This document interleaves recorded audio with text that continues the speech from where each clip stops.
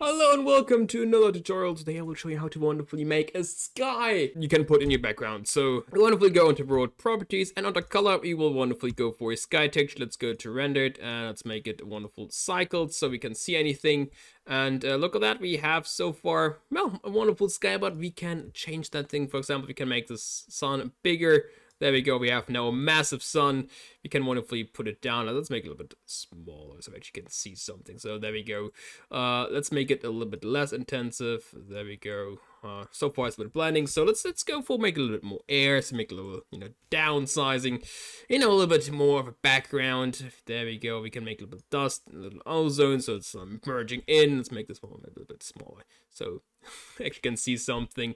We can of course disable or enable the wonderful sun itself, and yeah, what I really like is when you wonderfully go down and up, it also will change uh, according. So we have now the sun rising, and there we go, it's getting brighter. The bigger you, the higher you go up, like a normal sun. And also, of course, you can change around and whoop, go wonderfully around. Altitude is also something you can change. So there's a bunch of stuff you can change if you want. So yeah, there we go. I hope you liked it. Till next time.